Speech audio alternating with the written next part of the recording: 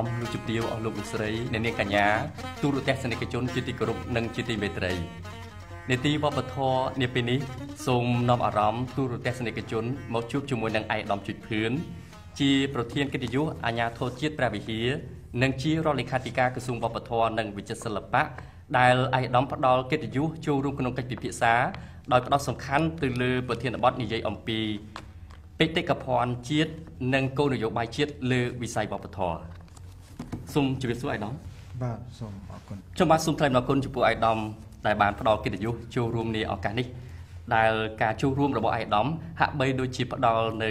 ចំណេះដឹងមួយចំនួនជូនដល់ទស្សនិកជនរបស់យើងដែលកំពុងតែទស្សនានៅនីតិកម្មវិធីនីតិវប្បធម៌អឺដើម្បីផ្សារភ្ជាប់ទៅនឹងប្រធានបទនាពេលនេះខ្ញុំបាទសូមកអនុញ្ញាតគ្រប់ជើញអាយដាមមេត្តាជួយបញ្យលឲ្យបានច្បាស់បន្តិចអំពីថាអ្វីទៅជាបេតិកភណ្ឌជាតិ បាទសូមអរគុណចំពោះសំណួរដ៏ល្អនេះយើងជាប្រជាជនដែលស្ថិតនៅក្នុងព្រះរាជាណាចក្រកម្ពុជាបច្ចុប្បន្នយើងមានពាក្យជាវប្បធម៌ដែលគេច្រើនតែនិយាយស្ដីអំពីបេតិកភណ្ឌវប្បធម៌ជាតិ តើបេតិកភណ្ឌវប្បធម៌នឹងក្នុងពាក្យសាមញ្ញនឹងជាស្អីគឺយើងគិតថាអ្វីដែលជាស្នាដៃដែលបង្កើតឡើងដោយសារមនុស្សពាក្យនេះវាបង្កប់នៃ2អឺដែលយើងតែងតែនិយាយហើយការនិយាយនោះភាកច្រើនប្រជាជនសាមញ្ញមិនសូវចាប់អារម្មណ៍ឬយល់បានច្រើនទេអឺ បេតិកភណ្ឌរូបីហ្នឹងមានអីខ្លះទៅភាកច្រើន គឺយើងផ្ដោតទៅលើ សម្បត្តិវប្បធម៌របស់ជាតិដែលច្រើនរៀបរាប់អំពី ប្រាសាទបុរាណនានា ក្នុងនោះមានវត្តអារាម ក្នុងនោះទៀតក៏មានចេតិយបុរាណក្នុងនោះទៀតក៏មានបច្ឆាដែលសម្រាប់បូជាសពហ្នឹងក៏ គេរាប់បញ្ចូលទៅក្នុងបេតិកភណ្ឌរបស់ជាតិដែរក្រៅពីនោះគឺបុរាណវត្ថុនានាដែលបានមកពីការធ្វើកំណាយសង្គ្រោះក្តីការធ្វើកំណាយបែបប្រតាមប្រព័ន្ធវិទ្យាសាស្ត្រក្តីគឺគេយកទៅរក្សាទុកនៅក្នុងសារមន្ទីរជាតិហើយគេរាប់ បញ្ចូលទៅជាបេតិកភណ្ឌដែលមានរូបមានន័យថាគេអាចមើលរូបឃើញហើយរូបនោះអាចបន្លាស់ទីខ្លះក៏បន្លាស់ទីបាន មានខ្លះបន្លាស់ទីមិនបានទេដូចជាប្រាសាទវត្តអារាមព្រះរាជវាំងសារមន្ទីរជាតិឬក៏អ្វីអ្វីផ្សេងទៀតដែលមនុស្សបង្កើតហើយនឹងសម្រាប់ជាគុណប្រយោជន៍ដល់មនុស្សជាតិទាំងមូលដល់ ជាជនកម្ពុជាខ្លួនឯងទាំងមូលមួយទៀតន័យថាបេតិកភណ្ឌអរូបីទាំងនេះ គេសំដៅយកថាអ្វីដែលអាចប្រឡាស់ទីបាន ដូចជាភ្លេងភ្លេងយើងឮសូរយើងអាចស្គាល់ថានឹងជាភ្លេងប៉ុន្តែក្រោយពីការដែល ភ្លេងនឹងលេងរួចទៅអស់អស់មាននៅអ្វីដែលយើងអាចមើលឃើញទៀតហើយវានៅសល់តែឧបករណ៍ទេឧបករណ៍ដូចជាទ្រដូចជាខឹមដូចជាស្គរដូចជារនាតវារបស់មានរូបនឹងក៏គេអាចដាក់ចូលទៅជាអឺបុរាណវត្ថុប៉ុន្តែភ្លេងអរូបីក៏ខិនតលឺគេឈប់លេងគឺលេងឃើញលេងលឺរបាំយើងអាចឃើញនៅលើឆាកចម្រៀងយើងអាចឮគេច្រៀង ល្ខោនយើងអាចឃើញរូបភាពជាល្ខោនប៉ុន្តែល្ខោនឈប់លេង គឺយើងលេងឃើញមានអ្វីទៀតភាពយន្តជាជាវត្ថុមួយដែលយើងមើលឃើញ ហើយកាលណាភាពយន្តលេងសម្ដែងលេងបញ្ចាំងគឺយើងលេងឃើញអញ្ចឹងបានគេរាប់បញ្ចូលទៅជាអរូបនឹងគ្មានរូបក្នុងនោះមានសាស្ត្រាល្បែងផ្សេងផ្សេងមានកម្ពីបុរាណមាន សាសាលក្រិតក្រាំងលាក់ទាំងអស់នេះហើយដែលយើងរាប់បញ្ចូលទៅក្នុងបេតិកភណ្ឌអរូបីហើយបេតិកភណ្ឌអរូបីនេះកាលបើមានអាយុចាប់តាំងពី50ឆ្នាំឡើងលើ គេអាចរាប់បញ្ចូលទៅជាបេតិកភណ្ឌថ្នាក់ជាតិឬក៏ អាចថាជាបុរាណវត្ថុបានអរូបី50ឆ្នាំឡើងលើ តែរូបីចាប់ពី100ឆ្នាំឡើងលើឧទាហរណ៍ដូចជាវត្តអារាមឬចេតិយឡាក់កាលណាការកសាងរបស់មនុស្សនឹងវាលើសពី100ឆ្នាំ គេអាចរាប់បញ្ចូលទៅជាបុរាណវត្ថុឬចុះពេទ្យពន្ធនជាតិដើម្បីបន្តកិច្ចការនឹងឲ្យទៅជាក្រោយពីថ្នាក់ជាតិទៅជា អន្តរជាតិដូចជាយើងបញ្ចូលទៅជាបេតិកភណ្ឌ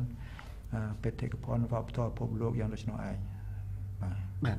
សូមអរគុណអាយដាមអឺសំណួរបន្តទៀតបើសិនជាយើងនិយាយអំពីគោលនយោបាយនៃវិស័យវប្បធម៌ថាតើគោលនយោបាយរបស់វិស័យវប្បធម៌ហ្នឹងមានមានអ្វីខ្លះដែរអាយដាមបាទបាទគោលនយោបាយវប្បធម៌នេះនៅក្នុងក្រសួងទាំងមូលគឺ យើងបានរៀបចំគោលនយោបាយវប្បធម៌ថ្នាក់ជាតិនឹងរួចរាល់ហើយហើយនៅក្នុងការអនុវត្តគោលនយោបាយនេះគឺតែងតែមានចក្ខុវិស័យនិងគោលដៅនិងគោលបំណងតើចក្ខុវិស័យនេះសំដៅលើអ្វីពីព្រោះនេះបើគ្មានចក្ខុវិស័យនេះទេយើងអាចដើរទៅវង្វេងផ្លូវដូច្នេះចក្ខុវិស័យគឺជា ទិសដៅមួយ ជាត្រីវិស័យមួយសម្រាប់ឲ្យយើងនឹងធ្វើការឲ្យបានរលូនជៀសវាងការភ័ន្តច្រឡំដូច្នេះចក្ខុវិស័យនឹងផ្ដោតទៅលើអ្វីដំបូងដោយសារយើងខាងលើយើងនិយាយពីបេតិកភណ្ឌរូបិយនិងអរូបិយដូច្នេះតើចក្ខុវិស័យយើងបាញ់មុខព្រួញទៅស្អីគឺថាអភិរក្សដំបូងគឺអភិរក្សនឹងគឺ ការថែទាំថែរក្សា ដើម្បីឲ្យបេតិកភណ្ឌរូបិយក្តីអរូបិយនឹងវាវាទេវានៅរាប់អស់កាលដ៏យូរសម្រាប់កូនចៅខ្មែរយើងចំនួនក្រោយនឹងឲ្យស្គាល់ដូច្នេះការអភិរក្សជាការចម្បងក្រៅពីអភិរក្សបានហើយទៅអភិវឌ្ឍវាអភិវឌ្ឍវាអីគឺអភិវឌ្ឍ បេតិកភណ្ឌវប្បធម៌ជាតិនឹងដើម្បីបម្រើប្រយោជន៍ប្រជាជន ដើម្បីបម្រើប្រយោជន៍សេដ្ឋកិច្ចដើម្បីឲ្យប្រជាជននឹងឬក៏ជាតិទាំងមូលនឹងរស់រានមានជីវិត ដោយឈរនៅលើការអភិរក្សនិងការអភិវឌ្ឍនេះចក្ខុវិស័យយើងឃើញថាគោលបំណងដើម្បីដើរឲ្យចំទឹះនៅក្នុងគោលនយោបាយនេះគឺថាទី1ធានាសុវត្ថិភាព ទី2ធ្វើឲ្យមានសុខដុមរមនាឡើងនៅក្នុងសង្គមមនុស្សគឺមានន័យថាបេតិកភណ្ឌរូបិយក្តីអរូបិយហ្នឹងគឺថាឲ្យវាជៀសផុតអំពីការបំផ្លិចបំផ្លាញឬមួយក៏ការលួចការប្លន់បន្លាស់ទីដោយខុសច្បាប់ហើយធ្វើឲ្យមាននិរន្តរភាពទៀតបានន័យថាវាបន្តជីវិត បេតិកភណ្ឌនឹងឲ្យបានយូរលង់ហើយមួយទៀតគឺថាយើងត្រូវលើកកម្ពស់សិលធម៌ពីព្រោះសិលធម៌នេះហើយជាកត្តាសំខាន់ពីព្រោះបើគ្មានសិលធម៌ក្នុងការធ្វើឲ្យបេតិកភណ្ឌវប្បធម៌ជាតិនេះអឺវាបានជៀសផុតពីការដែលលួចប្លន់ឬក៏បន្លាស់ទីដោយ គោលបំណងណាមួយដែលជាការផ្ទុយនឹងធ្វើឲ្យការអភិរក្សនេះវាបានគង់វង្សនោះគឺថាទៀមទាននៅសិលធម៌របស់មនុស្សដែលរស់ក្នុងសង្គមនោះទៀមទាននៅគុណធម៌ដែលមនុស្សតែងមាននៅក្នុងសង្គមនោះពេញនៃរបស់ខ្លួន គឺត្រូវតែរក្សាការពារមានន័យប្រពៃណីថ្នាក់ជាតិក្តីប្រពៃណីថ្នាក់សហគមន៍ក្តី គឺថាទាំងអស់នោះដល់យើងឈរនៅលើអ្វីមួយទៀតគេហៅថាពហុវប្បធម៌ជាតិសំដៅទៅលើសហគមន៍នានាដែលគេមានវប្បធម៌រៀងរៀងខ្លួនប៉ុន្តែគេរស់នៅជាមួយនឹងសហគមន៍ធំដែលយើងហៅថាសហគមន៍ខ្មែរនេះគឺថាមានអឺចំនួនច្រើនជាង សហគមន៍ដទៃទៀតដែលគេរស់នៅជាមួយយើងដូចជាសហគមន៍ជនជាតិចាមសហគមន៍ជនជាតិគួយពររដែសហគមន៍ជនជាតិវៀតណាមសហគមន៍ជនជាតិបរទេសដទៃទៀតដូចជាគេកាន់សាសនាផ្សេងប៉ុន្តែគេមករស់នៅក្នុងសហគមន៍ខ្មែរយើងនឹងអញ្ចឹងទាំងអស់នេះហើយគឺថាអឺជាកិច្ចដែល យើងត្រូវពង្រឹងនៅអត្តសញ្ញាណជាតិនិងអត្តសញ្ញាណពហុភាវវប្បធម៌នេះយើងត្រូវពង្រឹងដោយសាររដ្ឋាភិបាលទទួលស្គាល់រួចហើយក្រៅពីនឹងគឺយើងត្រូវលើកកិត្យានុភាពរបស់ជាតិដែរពីព្រោះសប្តាហ៍ដែលយើងមាននឹងគឺថាកម្ពុជាសប្តាហ៍ដោយសារកិត្យានុភាពវប្បធម៌ថ្នាក់ជាតិរបស់យើងហើយបានយើងទាញនៅទេសចរដ៏ច្រើនដែលយើងឃើញថា បច្ចុប្បន្ននេះទេសចរសម្រុកចូលទៅក្នុងអង្គរវត្តហ្នឹងដោយសារអង្គរវត្តជាប់ជាប់លេខ1នៅក្នុងចំណោមបេតិកភណ្ឌពិភពលោកដទៃទៀតចំនួន5ទាំងអស់នេះហើយដែលយើងឃើញថាកិច្ចចានុភាពជាតិលើវិស័យវប្បធម៌ហ្នឹងគឺគោលបំណងយើងដើម្បីបង្កើននៅសេដ្ឋកិច្ចសង្គមជាតិរបស់យើងនឹងដើម្បីធ្វើឲ្យគោលបំណងនឹងវា មានប្រយោជន៍ដូច្នេះគោលដៅនឹងយើងរៀបចំពីការថែរក្សាការពារការជួសជុលនៅបេតិកភណ្ឌជាតិរបស់យើងនឹងកុំឲ្យវាខូចខាតឬក៏ពុកផុយទៅនៅក្នុងនោះក៏យើងមានរៀបចំនៅវិស័យអប់រំដែរហើយយើងដឹងថាក្រសួងវប្បធម៌មានសាកលវិទ្យាល័យមួយដែលសម្រាប់អប់រំនិង បង្កើនធនធានមនុស្សដើម្បីឲ្យជួយក្នុងកិច្ចការអភិរក្សនិងអភិវឌ្ឍនេះឯងដូច្នេះក្រសួងបានមានសាកលវិទ្យាល័យមួយនេះដែលមានមហាវិទ្យាល័យ5ដូចយើងដឹងហើយថាមានមហាវិទ្យាល័យបុរាណវិទ្យាបង្កើតធនធានមនុស្សសម្រាប់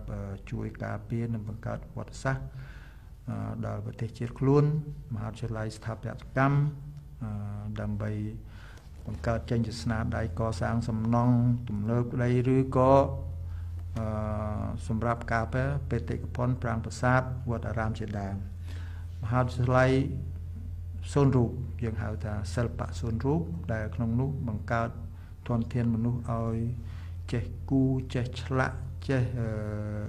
ផលិតចេញនៅសិប្បកម្មនានាដើម្បី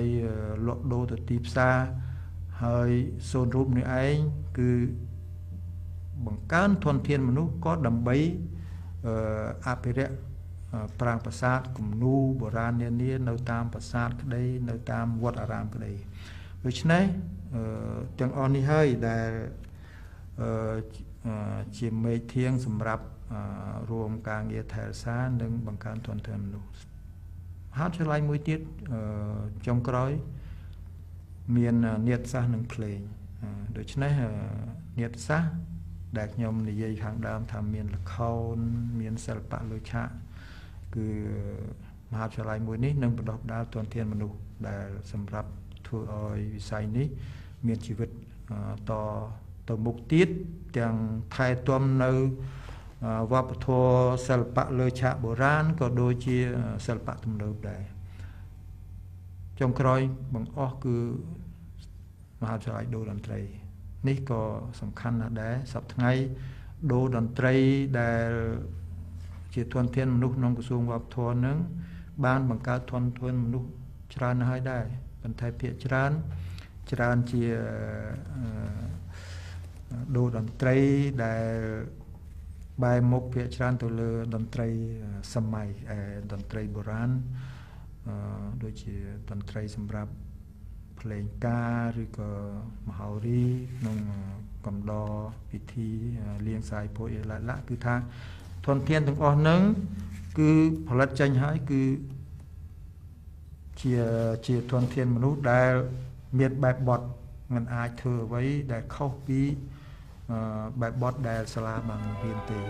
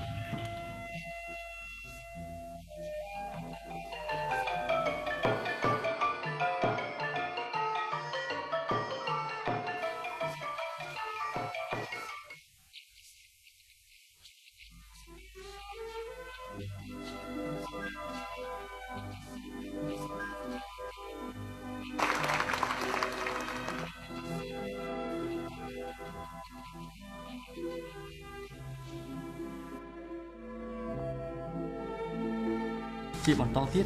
រហូតមកដល់ពេលបច្ចុប្បន្ននេះថាតើក្រសួងវប្បធម៌បានធ្វើអ្វីខ្លះហើយដើម្បីឆ្លើយតបទៅនឹងគោលនយោបាយជាតិលើវិស័យវប្បធម៌នេះឯកឧត្តមក្រសួងវប្បធម៌បានបង្កើតចេញច្បាប់ដើម្បីកិច្ចការពារបេតិកភណ្ឌវប្បធម៌ជាតិនឹងតាំងពីឆ្នាំ1996បានបង្កើតចេញនៅអនុក្រឹត្យផ្សេងផ្សេងសម្រាប់កិច្ចការពារនេះបង្កើតចេញនៅសារាចរណែនាំ ហើយអឺទាំងអស់ហ្នឹងគឺដើម្បីអីទី1សពថ្ងៃហ្នឹងនៅក្នុងប្រទេសកម្ពុជាយើងមានជនខិលខូចភាគច្រើនដែលអឺលួចជីកកកាយបុរាណវត្ថុដែលនៅក្នុងដីហ្នឹងដើម្បីលក់ដូរជាប្រយោជន៍ដល់ខ្លួនដូច្នេះកិច្ចការអស់ហ្នឹងគឺថា ក្រៅពីកិច្ចសហប្រតិបត្តិការជាមួយនឹងអន្តរជាតិហ្នឹងយើងខ្លួនឯងហ្នឹងក្រសួងវប្បធម៌ដែលមាននយោបាយឋានជំនាញខាងធ្វើកំណែការពារធ្វើកំណែដើម្បីសង្គ្រោះពេលដែលយើងសាងសង់ស្អីមួយនៅលើដីហ្នឹងគឺថានៅក្រោមដីយើងអត់ដឹងមានអីដូច្នេះហើយត្រូវធ្វើកំណែសង្គ្រោះ ហើយកំណាយមួយទៀតជាកំណាយសម្រាប់កសាងវត្តសាសនាជាតិហ្មងដូចជាកំឡាយនៅតាមទីវាលក៏មាននៅក្នុងលាងភ្នំក៏មានអឺទាំងអស់នេះគឺក្រសួងវប្បធម៌មានយុទ្ធឋានជំនាញដើម្បីធ្វើកិច្ចការនេះដើម្បីអភិរក្សរបស់របរហ្នឹងឲ្យថេនៅក្នុងសង្គមជាតិយើងក្រៅពីនោះ ក្រសួងវប្បធម៌ត្រូវធ្វើកិច្ចសហប្រតិបត្តិការជាមួយអន្តរជាតិទៀតដោយដោយគិតថាប្រជាជាតិម្នាក់ឯងតែមួយមិនអាចនៅជួយស្រោចស្រង់ស្អីយើងហៅថាបេតិកភណ្ឌវប្បធម៌រូបិយនិងអរូបិយដោយខ្លួនឯងបានទេគឺថាក្រោមមេឃលើដីនេះគ្មានប្រទេសជាតិណាមួយម្នាក់ឯងដែលអាចជួយស្រោចស្រង់ជីវិត បេតិកភណ្ឌវប្បធម៌ជាតិនេះបានទេពីព្រោះមួយគឺថាការជួសជុលទោះបីប្រាសាទហុំតូចក៏ដោយក៏ត្រូវទៀមទាពេលវេលាហើយចាយលុយច្រើនបើសិនជាប្រាសាទមានទំហំធំ ដូចជាប្រាសាទអង្គរវត្តឬមួយក៏ប្រាសាទបភួនជាដើមគឺថា ទៀមទាពេលវេលាចាប់ពី10ឆ្នាំឡើងដល់30ឆ្នាំដូច្នេះក្នុងការចំណាយនឹងថ្លៃណាស់កិច្ចសហប្រតិបត្តិការអន្តរជាតិវាមានរូបភាព2ទី1គឺថាផ្នែកជួយគ្នាក្នុងកិច្ចរារាំងកុំឲ្យបុរាណវត្ថុបន្លាស់ទីបានទី2គឺថាជួយជួសជុលតែម្ដងហើយថារូបភាពធំក្តីរូបភាពតូចក្តីក៏តែយើងយើងជួយគ្នាតាមរបៀបទុនធានមនុស្សគេ លុយកាក់គេបូកនឹងធនធានមនុស្សយើងលុយកាក់ក្នុងស្រុករបស់យើងបាទនៅអឺចំណុចមួយទៀតដែលចំណុចពិសេសដើម្បីអនុវត្តនេះគឺថាយើង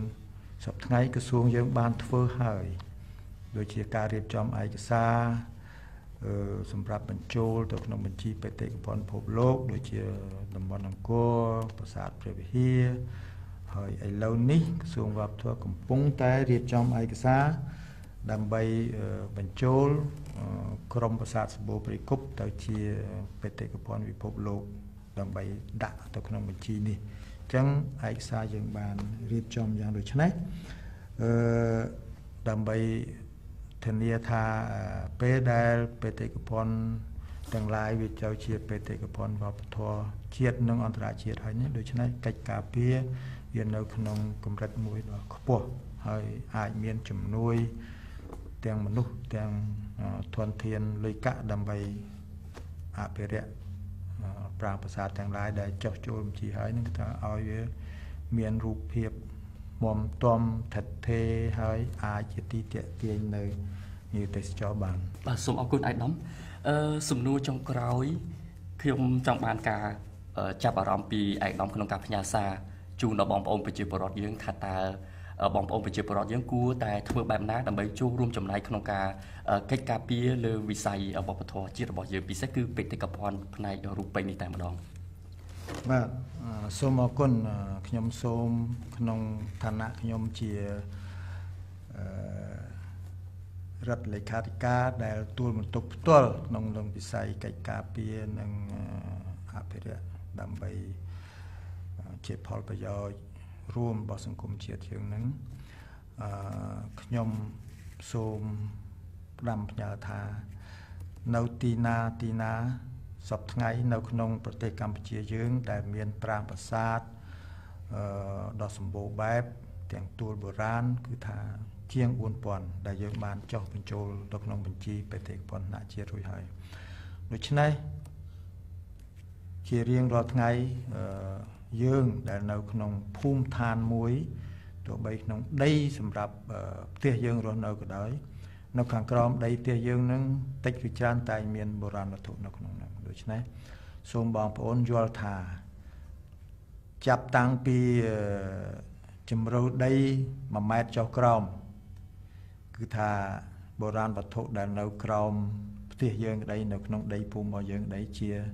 សម្បត្តិរបស់ជាតិដូច្នេះបើយើងជីកទៅប៉ះយើងត្រូវជូនព័ត៌មានជាបន្ទាន់ដែលมันអាចឲ្យលើសពី24ម៉ោងបាន ដើម្បីឲ្យផ្នែកជំនាញនៅក្នុងវិស័យនេះគេធ្វើបញ្ជីសារពើប៉ុនរួចហើយយកទៅតម្កល់ទុកក្នុងទីសវត្ថភាពក្នុងសារមន្ទីរខេត្ត ក្នុងសារមន្ទីរជាតិនៅភ្នំពេញក៏ដូចជាក្នុងខេត្តសៀមរាបដូច្នេះសូមបងប្អូនជារដ្ឋទាំងអស់ជួយក្នុងវិស័យនេះដើម្បីជួយអីគឺថាជួយដើម្បីឲ្យបេតិកភណ្ឌជាតិយើងនឹងវាថិតថេរវាមានជីវិតតទៅមុខរាប់ពាន់ពាន់ឆ្នាំក្នុងវិស័យដែលជាបេតិកភណ្ឌអរូបីឧទាហរណ៍បងប្អូនដែលមានទូក ទូកដែលមានអាយុពី100ឆ្នាំឬចាប់ពី50 60ឆ្នាំឡើងលើដូចជាត្បាល់បុកត្បាល់កិនទាំងអស់នេះ ជាវត្ថុសិប្បកម្មទេប៉ុន្តែដល់វាមានអាយុពី50ឆ្នាំលើចាត់ទុកទៅជាបុរាណវត្ថុសូមបងប្អូនកុំបំផ្លាញចោលសូមបងប្អូនយកវារក្សាទុកនៅក្នុងទីសុវត្ថិភាពឬសារមន្ទីរជាតិបងប្អូននឹងមានឈ្មោះហើយបានអឺផលខ្លះដែលរដ្ឋ ធ្វើជាអំណោយក្នុងការដឹងគុណដល់បងប្អូនដែល បានយករបស់ទាំងនោះមកតម្កល់ទុកនៅក្នុងសារមន្ទីរជាតិក្តីសារមន្ទីរថ្នាក់ខេត្តក្តីថ្នាក់ឃុំក្តីអាចមានតិចទៀតសារមន្ទីរថ្នាក់ស្រុកថ្នាក់ឃុំអីចឹងគឺថាដូច្នេះសូមផ្ដាំថាថាការពារអភិរក្សដើម្បីអភិវឌ្ឍសង្គមសេដ្ឋកិច្ចជាតិយើង កាលណាបើយើងស្រុកយើងប្រទេសជាតិយើងមានហើយយើងក៏វាប្រះចាកចេញពីសេចក្តីក្រីក្រសូមអរគុណបាទសូមអរគុណអាសាជាថ្មីចំពោះអាយដាមជាប្រធានកិត្តិយសអាជ្ញាធរជាតិព្រះវិហារនិងជារដ្ឋលេខាធិការក្រសួងវប្បធម៌និងវិចិត្រសិល្បៈដែលបានផ្ដល់កិត្តិយសចូលរួមនៅក្នុងកិច្ចពិភាក្សានៃកម្មវិធីនីតិវប្បធម៌នេះសម្ដេចទ្រង់អាយដាមលោកជំទាវអស់លោកលោកស្រីទូរទស្សនិកជនជាទីគោរពនិងជាទីមេត្រី ដោយពេលវេលានៃកម្មវិធីនីតិវប្បធម៌នាពេលនេះឈានចូលមកដល់ទីបញ្ចប់សូមរងចាំទស្សនានៅកម្មវិធីនីតិវប្បធម៌នៅសប្តាហ៍ក្រោយរៀងរាល់ថ្ងៃប្រហោះម៉ោងដដែលជាបន្តទៀតនៅពេលវេលានេះយើងខ្ញុំទាំងពីរនាក់សូមអរគុណសូមជម្រាបលា